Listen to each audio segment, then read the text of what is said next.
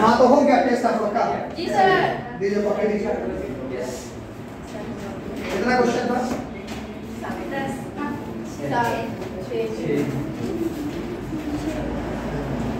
तो पहला क्वेश्चन आपके पास है। त्रिपिटक का क्या?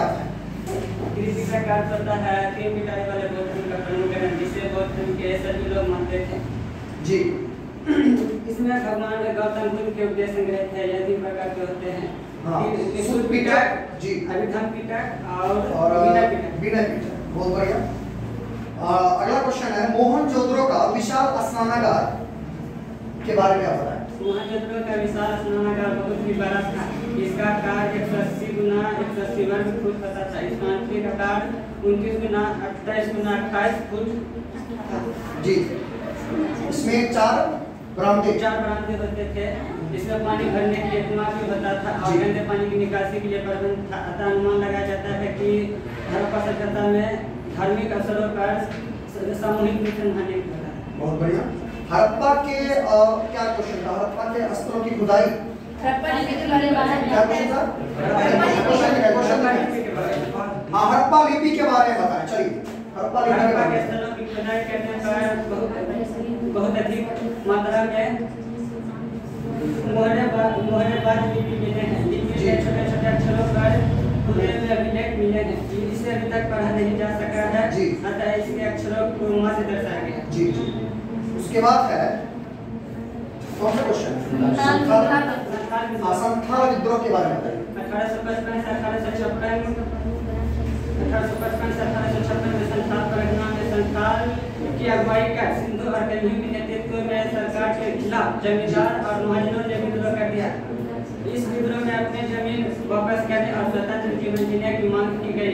यह विद्रोह ज़्यादा दिन नहीं चल सका अठारह सौ सत्तावन की क्रांति के असफलता के चार कारण अठारह सत्तावन की क्रांति को सफलता के चार कारण लिखित है यह विद्रोह निश्चित तिथि से पहले आरंभ हो गया था। जी।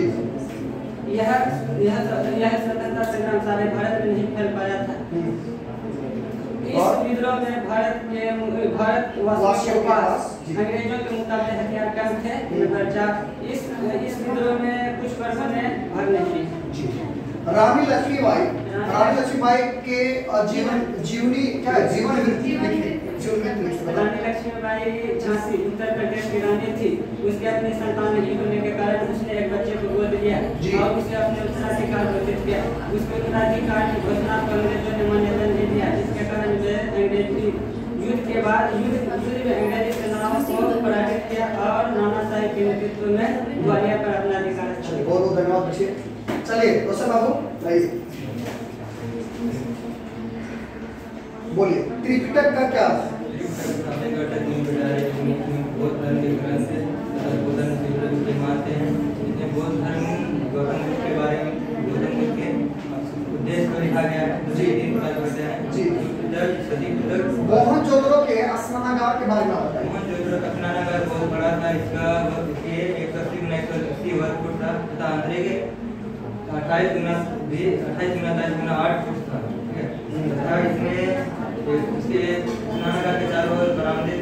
जी।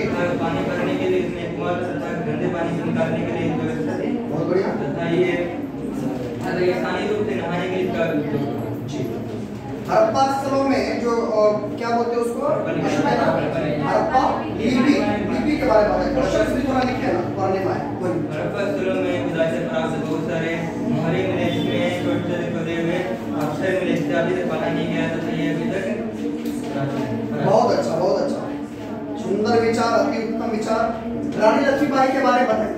रानी लक्ष्मीबाई का रानी लक्ष्मीबाई काशी की रानी थी तथा उसके अपने संतान न होने के कारण एक पुत्र को गोद लिया जिसे अपने पुत्र के रूप में गोद लिया तथा उसे झांसी का उत्तराधिकारी भी घोषित कर दिया। जिसे अंग्रेज़ों ने मान्यता नहीं दी जिसके कारण उन्नीस सौ अठारह सौ संतावन ईस्वी में उसने सत्तावन ईस्वी में उसने ब्रिटिश सरकार बहुत अच्छा बोले बहुत अच्छा बहुत अच्छा बोले आप धन्यवाद देते हैं आपको। बैठिए। बहुत अच्छा। और भी मेहनत करिए। है ना? और भी मेहनत करिए और अच्छा बोलिए। चलिए नेक्स्ट रंजित भाई। ये आपका है? यहाँ है। आप बता दीजिए। क्वेश्चन आपसे मोहन मोहनजोदड़ो के विशाल स्नानागार के बारे में बताइए। ज़ोर से बोलिए। वीडियो में मेंशन और आगे नहीं पढ़ेंगे। गार्जियन देखेंगे कहेंगे क्या पढ़ रहे हैं। बोली बात सुनिएगा नागर बहुत बड़ा था इसका आकार एक सौ अस्सी गुना वर्ग फुट था। इसका आंतरिक आकार उनतीस गुना बाईस गुना आठ फुट है। इसके चारों राउंड होते थे जी। अच्छा बोलिए अठारह संतान की असफलता के कारण बताइए। अठारह सौ सत्तावन के असफलता के मुख्य चार कारण हैं। विद्रोह के निश्चित तिथि से पहले ही दूसरा भारतीयों की अपेक्षा जी। हथियार का भाव था सही बात है। तीसरा इस विद्रोह में भारतीयों भारतीय वर्ग में पढ़ाई करिए रंजीत भूल रहे हैं मिस हो रहा। रानी लक्ष्मीबाई के बारे में बताइए तो। रानी लक्ष्मीबाई झांसी उत्तर प्रदेश की रानी थी। उसकी अपने पुत्र नहीं होने के कारण उसने एक बच्चे को गोद लिया। जी। तथा झांसी उत्तर उत्तराधिकारी को घोषित किया गया। अंग्रेज़ों ने उसके उत्तराधिकारी की घोषणा को मान्यता नहीं दिया जिसके कारण विद्रोह की उसने अंग्रेज़ी सेनाओं को पराजित किया और नाना साहिब की मदद से ग्वालियर पर अपना सुनो